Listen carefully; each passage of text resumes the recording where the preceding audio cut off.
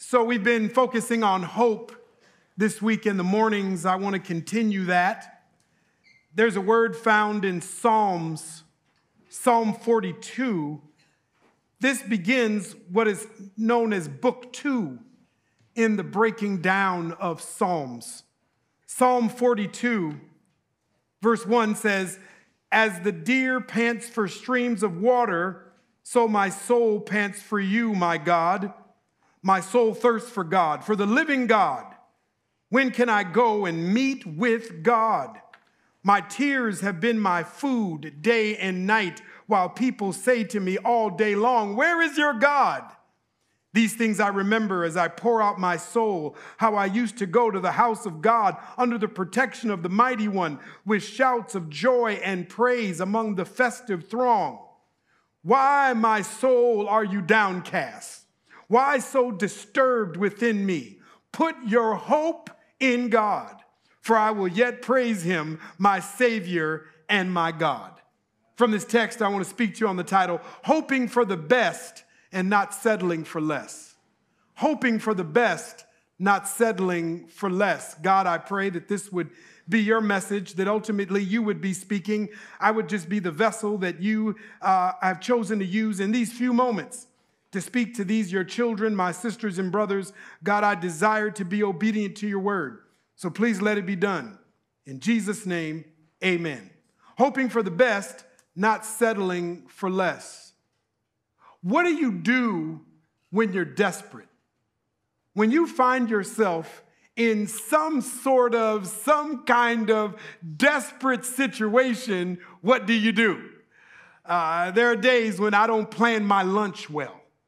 And so I, I, have too many meetings. I, I, didn't pack a lunch ahead of time. I should have. I, I, I could have made my lunch the night before. I could have made my lunch early that morning. But now I'm into my work rhythm and I realize maybe I've got like 30 minutes now between the last meeting and the next meeting, and it's somewhere around the lunch hour. So now in desperation, I jump in my car and I'm trying to figure out where I'm going to eat and where I can do this and I can get something and, and get back to the office in time for the next meeting it's desperate times. And now I've gone beyond hungry to hangry. And so it's desperate times. And then I find myself out of desperation in the drive through at Carl Jr.'s getting some fried zucchini sticks. This is what happens when you are desperate, when you procrastinate when the world causes desperation to arrive at your doorstep, when by your own behavior you find yourself desperate. I, remember before Danisha and I started dating in high school, it was my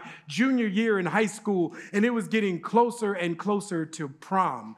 And I wanted to go to prom. My, my friends were going, they, they were all asking, you know, the guys were asking, uh, you know, females to the prom, and they were hooking up, coupling up. They were all had their plans going on for prom, and it was getting closer to closer to prom. And I, there was somebody I wanted to ask, but I was a little nervous to ask her. So I, you know, I was procrastinating. And now, you know, everybody, all, everybody in my friend circle is now going to prom. They're making plans, not me. And it's getting close. It's like, like it's literally three weeks away from prom. And so the, this girl, Dion, that, that I was going to ask, but I was a little nervous to ask, she, she said to me in, in fifth hour class, she said, hey, are, are, are you going to prom?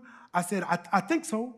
She said, Who you going with? I said, I don't know yet. She said, Oh, you don't have anybody to go to prom with yet? I said, No. She said, Oh, we should talk on the phone later. And so we exchanged numbers. I was like, ha, ha, ha. And so she calls me that, that night. We are talking on the phone, me and Dion. And she's like, So you don't you don't have anybody to go to prom with yet? I was like, No, do you have anybody you're going to prom with? She was like, You don't have nobody you're going to prom with? And I was like, No, no, no, no, I don't. She said, Oh, good. And she put her friend Stacy on the phone. And then Stacy said like this. You going to prom with anybody? I said, No. Oh, you want to go to prom? I was like, Okay. And then Dion got back on the phone. She says, This is awesome because me and Derek are already going to prom, and now the four of us can go to prom together. See what happens when you're in desperate times? Me and Stacy are at prom. I mean, we don't even dance. People are dancing, having fun. We're just sitting there. We took pictures like this. And then my mom put it on the mantle at home to remind me of what happens when you procrastinate, when you get in desperate times, when you wait too late. I went to my grandparents' house in Louisiana and the picture was on their mantle too. Praise God, I met Donisha the next year and we went to prom. I don't know what's going on in Stacy's life. I really don't know today, but that was the worst prom ever, me and Stacy. That was the worst prom. What do you do when life takes you to a place of desperation? What do you do when your own behavior takes you to a place of desperation?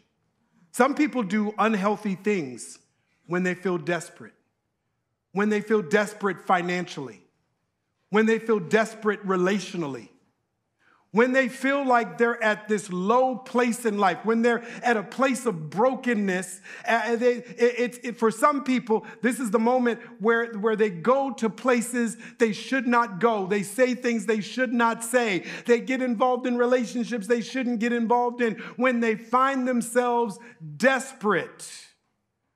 And yet, God desires for desperation to be the divine moment where we find hope, where we find hope in God. Because desperation can become crisis. And then it raises the question what do we do in crisis? And God desires that in desperation, in crisis, that we would find hope in God. Because crisis doesn't mean God has forgotten about you, it could mean God is looking for you in desperation, in crisis. It could mean God is not away from you, God is waiting on you. Find hope in the God who is pursuing you, even in desperate times, even in crisis, even in challenge, even in times of stress and anxiety, even when you're losing sleep. Find hope in God. Where will you allow God to take you when you're desperate? Where will you allow God to take you when you're in crisis? Where will you allow God to take you when you don't have the answers in your own power? When you can't come up with the solution, even though you're college educated, even though you've lived a long time, even though you've had a lot of experiences, even though you've got some wisdom and you've got some, some strength in your own ability, there are desperate times where you need a divine Savior. Psalms.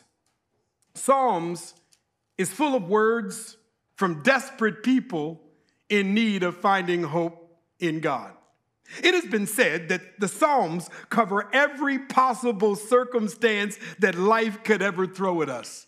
If you want to know how to deal with problems, if you want to know how to deal with anxieties, if you want to know how to deal with stresses, if you want to know how to keep your hope in spite of what's going on around you, check out Psalms. It's like every crisis, every problem, every thing you could go through, there's a poem, there's a song, there's a crying out from the Psalms. King David is the author of much of Psalms, but not all of it. Matter of fact, uh, Psalm 42 is one of those Psalms not written by David.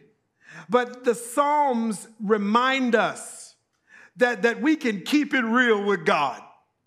Like, like, like when you read the Psalms, these are they're, they're, some of these uh, words are like anger to God questioning God, frustration with God, begging God.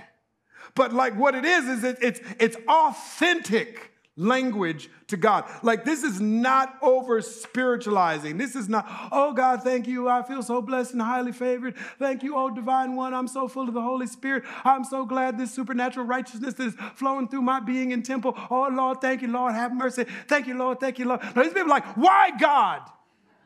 Why is this happening to me? Why divorce? I never planned this.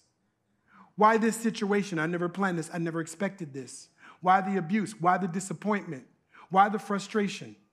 How long must I deal with this situation? I have prayed about this year after year after year after year. Why, God? God, I'm sorry. I know I, I, I know I messed up, but that was 25 years ago. And I feel like I'm still paying the price for something I did 25 years ago. That's the Psalms. It, it comes across like that. Real people in desperate situations, keeping it real with God, trying to find hope again. And, and as a reminder, what is the kind of hope that we're talking about?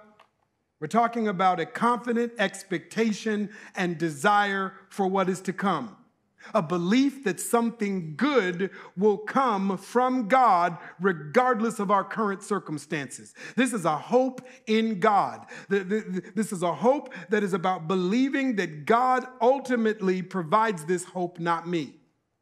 Hope as supernatural. I need a hope that doesn't come naturally to me. I, I, I need a hope. I, I, need something beyond what I see right now in front of me. Hope is about what God is doing, it's about what God has done, it's about by faith what I believe God will do, even though God ultimately decides how it's going to play out. But I trust God anyway. Hope in God. I wonder if people that quit believing in God if they really had an authentic, real, intimate relationship with God in the first place.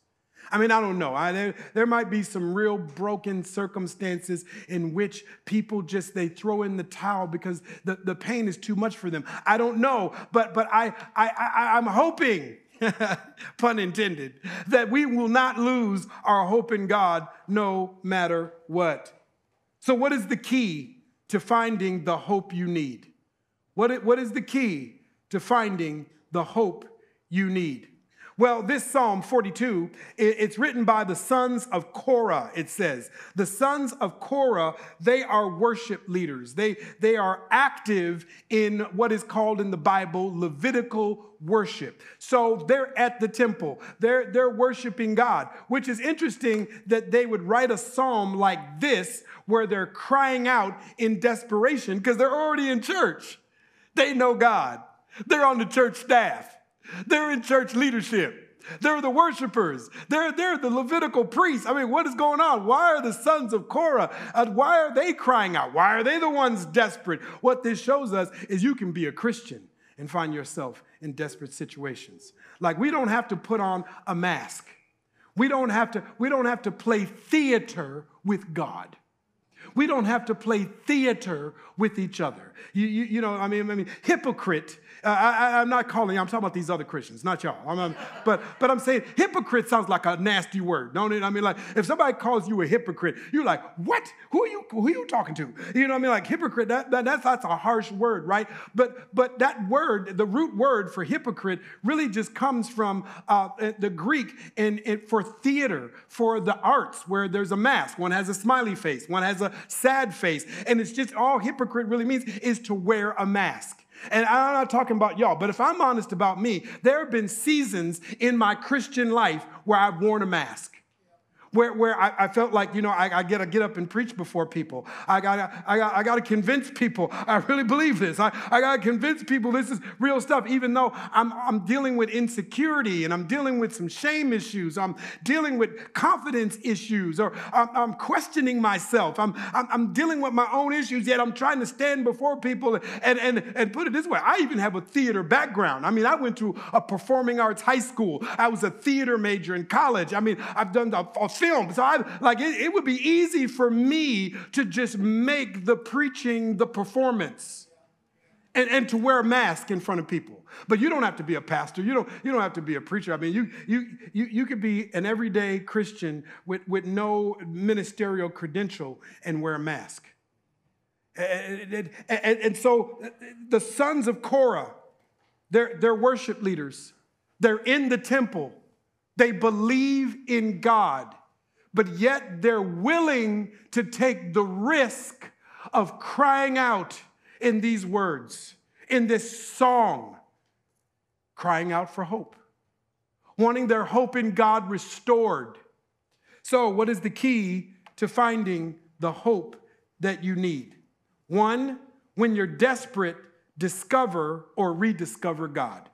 When you're desperate, discover or rediscover God. Psalm 42, verse 1, it says, As the deer pants for streams of water, my soul pants for you, my God. My soul thirsts for God, for the living God. Where can I go and meet God? My tears have been my food day and night. What these God believers are saying is that sometimes I find myself in such a situation that I can't even eat and, and my, my tears become my food. My sadness, my sorrow becomes my nutrients because I can't even get myself to the table to eat. My tears have been my food day and night while people say to me all day long, Where is your God? You know, this is it's messed up when you're already struggling as a Christian, you're already going through something, and then the people around you, they're not very helpful. They're like, I thought you were a Christian. I thought you said you believed in God. I thought you said God was a healer. I thought you, why, man, why are you looking like that? Why you look so sad? Why you got attitude? I thought you were a Christian. I thought you believed in the Bible. Like, that's not helpful right now. Shut up. so, so, so the, the, these, these godly people, you know, that they believe in God, but yet they find themselves in a desperate situation. They're crying out. And, and maybe, maybe this is just, they're just being songwriters right here. But you know what? The best songs are written by the artists that actually went through what they're singing about. And this song sounds too good. This poem sounds too good. Now, I think they know about what they're singing about right here. Man, people are saying to me all day long, Where is your God? These things I remember as I pour out my soul. How I used to go to the house of God under the protection of the mighty one with shouts of joy and praise among the festive throng. They're saying, I remember a time before I was going through what I'm going through now, before I had the challenges I have now in life. But before, I mean, we can just keep it real because you dismissed them. Before I had these kids, I used to, oh, I used to be, I used to be the happiest Christian ever. Before, I, you know, I, I used to, oh, I used to, I used to I'd be, be like this at the, at the church. Now I'm like, sit down, sit down, sit down. not y'all. Yeah, I'm not talking about y'all. I'm talking about these other Christians. Uh, they're like, there was a time in my life where it just seemed like, man, the Christian life, life with God was just like, oh my gosh, it was just awesome, wonderful. What's wrong now? Man, I love this song because it's just keeping it real. He said, they say, verse five, why, my soul, are you downcast? If you read the entirety of this text, downcast is mentioned three times. Why, my soul, are you downcast? Why so disturbed within me? But here's the turn. Out of the desperation, out of the desperation, here's the turn. Put your hope in God, for I will yet praise him, my Savior and my God. It is okay to have sorrow. It is okay to have grief. It is okay to be angry for a little while. It is okay to be disturbed. It is okay to be frustrated. But, but find your hope again. Discover God again. Rediscover God. Maybe in your marriage, maybe in parenting, maybe in your career, maybe in your manhood, maybe in your womanhood. There's a place, there's one place where right now it's time to discover God for the first time. It is time, papaya time, to discover that God loves you, that God loves you so much. Or it's time to rediscover God's grace. Maybe this is the moment to rediscover God's truth for you, to rediscover God's grace for you, to rediscover God's forgiveness for you, to rediscover God's wisdom for you, to rediscover God's purpose for you. Uh, I, I, my, one of my chief aims for this week, I believe it is for Pastor Aaron as well, is that through these messages, you would rediscover with greater clarity God's purpose for your life, God's purpose for you.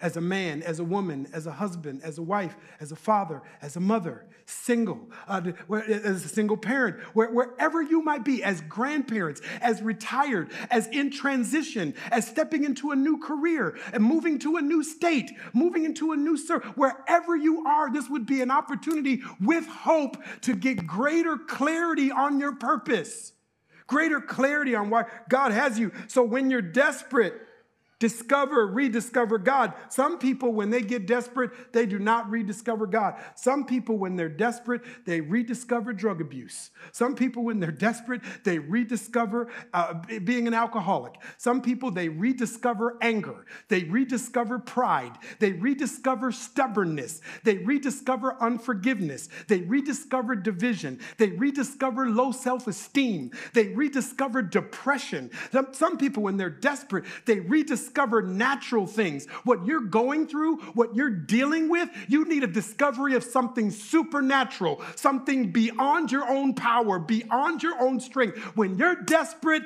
rediscover God.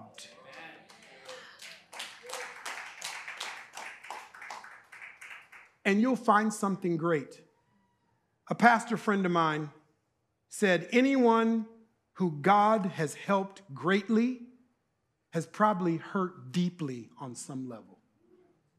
If you think about the moments where God did something great in your life, if you really look back and investigate, you'll remember that there have been moments when God did something great in your life at a moment where you were deeply hurting.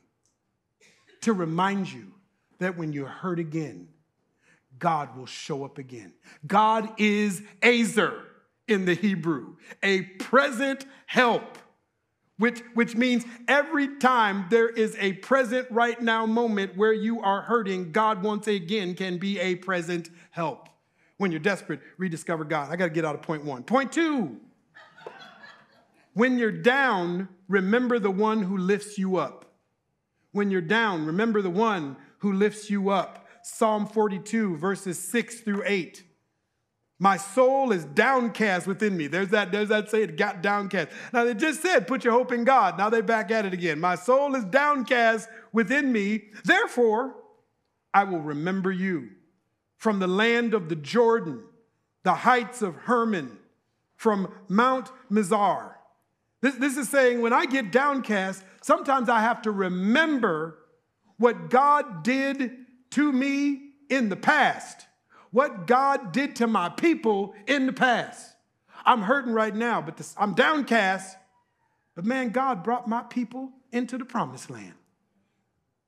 I'm downcast, but I heard that my people were in slavery in Egypt, and God opened up the waters, and they walked through the divided waters into a liberated existence. I, am to remember. I'm downcast, but I'm to remember. i I've been here before. I've seen this movie before. You know, it didn't go exactly like this the last time, but it was something like this. What am I to do? When you're down, remember the one who lifts you up. 7 verse 7 says, "Deep calls to deep." In the roar of your waterfalls, all your waves and breakers have swept over me. It, it is a, sometimes when you feel like you're drowning in the natural, when you feel like you're suffocating because of what you're going through, let the waters of God refresh you. Let, let hope in God do something deep in your soul. Verse 8 By day, the Lord directs his love at night, his song is with me, a prayer to the God of my life. When you're down, remember the one who lifts you up. We're going to get down. That's part of living in a broken world. Uh, uh, that's just the deal. I can't promise you a life, even following Jesus. There is no promise of a life with no pain, no suffering, no frustration, no anxiety. The mark of the Christian is to sustain hope in the midst of that. Be real about your feelings, don't deny them. Be real about your emotions. Be real about what's going on in your head. You need people in your life that you love and trust enough. You need an inner circle that you can be around where you can keep it real. and go, You know I'm a Christian, but man, I feel like cussing. I mean, like, you need somebody like that. You, you need somebody to go, You know I'm a Christian, but man, right now, I'm, I'm, man, I'm so, yeah, yeah, pray for me. Yeah, we better pray now. You need people around you in your life you can keep it real with. Man, Psalms is so, is so real. I'm so glad this isn't just a rated G Disney adventure series right here. When you're down, remember who lifts you up. I don't know where you are right now. You might be here right now having a mountaintop experience. Well, what I'm saying is just preparing you for the valley that might be ahead. So if you're on the mountaintop, praise God, praise God, hallelujah, amen. But for those of us in the valley, for those of us in the pit, for those of us in the well, I want you to know it ain't over. There is hope in God. He will lift you up. God will pull you up. Daniel ended up in a lion's den. God lifted him up. Moses was depressed in a different blue collar job than his calling because he had murdered somebody. He grew up without his biological parents. He had child origin issues. He was not emotionally healthy, but a burning bush lifted him up to his calling as a liberator of people. Esther, after winning a beauty pageant, is concerned that a law has been passed that will murder all her people, but she asked through her cousin Mordecai, fast and pray for me that God would lift up her courage. I don't know what valley you're in, I don't know what you're going through, but I know there's no place too low. Maybe Marvin Gaye was right when he said, Ain't no valley low enough, ain't no mountain high enough to keep God. I just rearranged the song to keep God from getting to you, babe. God will lift you up. God will pick you up. When you're down, remember the one who lifts you up. And three, when you feel alone, receive God's presence. When you feel alone, receive God's presence. Psalm 42, verse 9 through 11. I say to God, my rock, why have you forgotten me? Why must I go about mourning, oppressed by the enemy? My bones suffer mortal agony as my foes taunt me. What have you ever felt your sorrow in your bones? There, there's, there's a book, my, my wife Denise, she, she uh, hit me to this book called uh, The Body Keeps Score.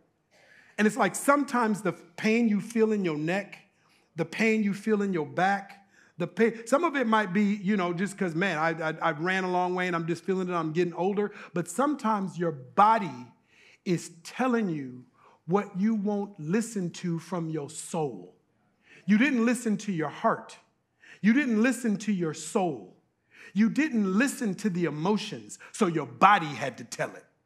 Your body, you, you had to get a pain in your knee. You had to get pain in your hip. You had to get pain in your back. You had to get pain in your neck. So because finally you didn't listen to your heart, you didn't listen to your mind, you didn't. So finally the body said, hey, because the body keeps score. Sometimes the trauma on the inside becomes pain in the bones, in the muscles, in the joints.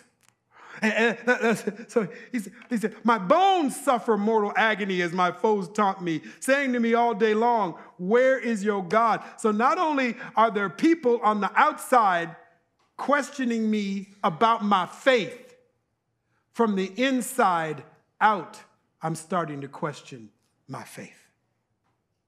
Why, my soul, are you downcast? Three, downcast. Why so disturbed within me? Ah, but here's the turn again.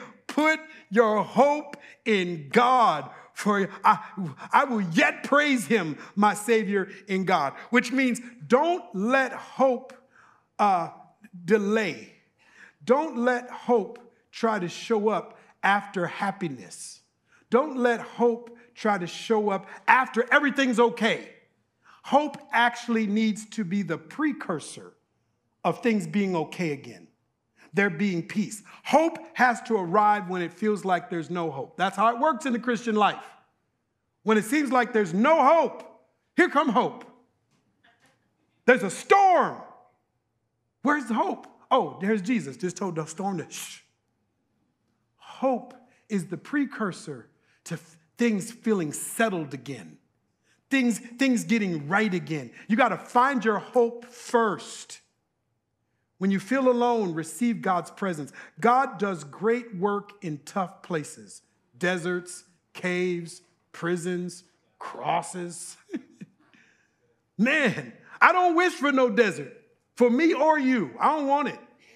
I, would rather be where it's green and stuff is, you know, it's just plush and things is growing. Look how pretty it is out of a desert. I ain't never thought of a vacation destination and said, let's look up the deserts. You know, some people like going in caves and stuff. Not me.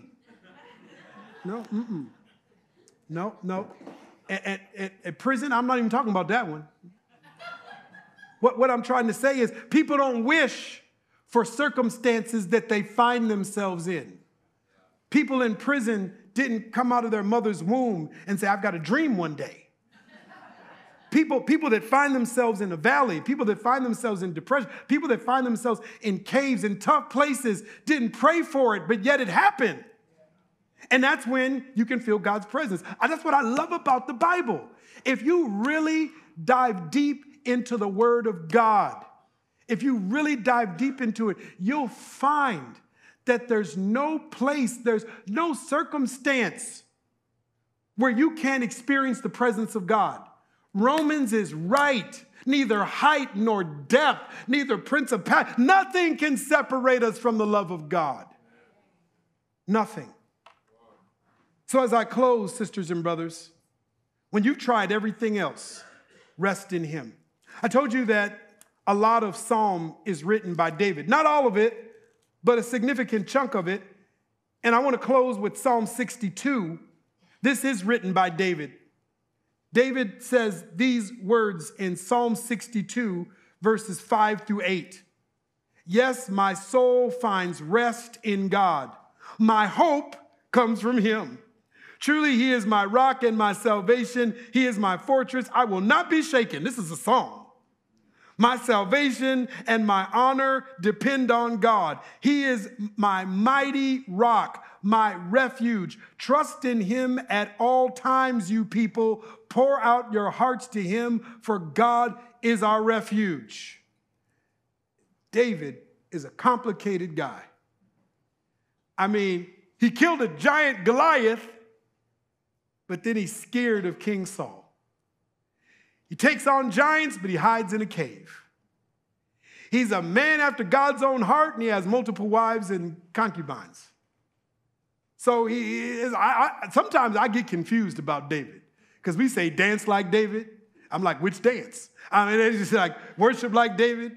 God, David was anointed. David was godly. And then I read a number of things about David that are complicated. He took another guy's wife, had that guy murdered. This is the guy we're supposed to dance like. This is the guy we're supposed to worship like. This, this, this is the anointed one. This, this is the one that, that, that lets us know that Jesus is in the lineage of a king, David. Why David? But yet again, when I look at David, I, I, I, I can see the journey of godliness. Uh, all of us have baggage in here. All of us have issues. None of us want a documentary of our thought life put on the screen. but I know this David ends well. I don't want all of the journey of David.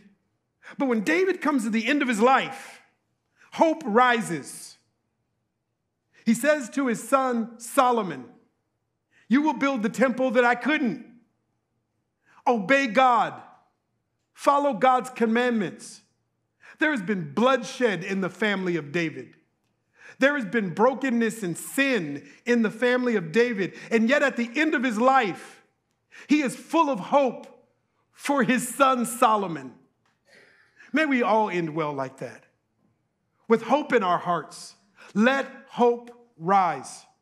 This is my real close. Um, I told you that I was. Uh, I, that, that I went on a trip to Kenya, and um, uh, while, while I was in Kenya back in 2010, um, I, I, I, went on a safari. And this, this is awesome. I, I went on a safari, and, and of course, I saw animals that I was just, man, I was so excited to see. I saw giraffes, like I, I saw uh, elephants, I saw zebras, lions. Oh my gosh. But for some reason, the safari guide made a big deal out of the impala. And I was like, why are we talking about the impala? Let's see another lion. Let's see another giraffe. He's like, I've got to tell you about the impala. I thought the impala was a car. I didn't even know. Uh, I didn't even know. And so he's, he's saying the impala, when he's standing on all fours, he has the ability to jump 13 feet high in the air. So if a lion comes and tries to attack an impala, it's its God given ability. It can rise 13 feet high in the air. When the impala is running, when it's on the move, it can jump 13 feet high and 30 feet out. It's its God given ability. I was like, wow, that's amazing. So when I got back home, uh, a few months later, my family, we were at the San Francisco Zoo. And while we were at the San Francisco Zoo, I saw some impalas. But these impalas, uh, even though there was taller fencing, they were initially contained by a three foot wall. And they wouldn't jump over it. And I was concerned. So I was talking to him. I was like, look, I just saw your cousins in Kenya. And I don't know if you know this, but you don't have to put up with these conditions. You can jump 13 feet high and 30 feet out. I just kept talking to them. I was like, Impala lives matter. But they, they wouldn't listen to me. So I was getting frustrated about this. So I went to the, somebody on staff at the zoo and I was like, what is going on with these impalas? I, I heard they can jump 13 feet high, 30 feet out, but they won't even jump over a three foot wall. She, and she said to me, she says, you're, you're correct. She said, uh, when the impalas are babies, we build this three foot wall.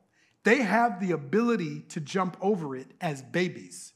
She said, but what we found out is that impalas won't jump if they can't see where they're gonna land. So they have to see first where they're gonna land, and then they jump. So they look for their landing point, then they jump. If their landing point, if their destination is blocked, if there is a barrier put up between where they are and where they want to go, they won't jump. She said, This probably won't make sense to you, sir, but impalas don't have faith. I said, Thank you very much for the sermon. I don't know where you're going to land. I don't even know where I'm gonna land, but we jump anyway. There is an enemy trying to put a series of three foot walls in front of your marriage, in front of your manhood, in front of your womanhood, in front of your singleness, in front of your mindset, in front of your emotions. And, and the enemy doesn't want you to know that you have this ability to rise with your hope in God. You have the ability to jump 13 feet high and 30 feet out. It's your God given ability through the indwelling of the Holy Spirit. You have been called to rise. The enemy, this sinful world, is going to keep putting one three foot wall. As soon as you find the hope to jump over one, you're going to find another. Just become a hurdler. That's what you're going to have to do.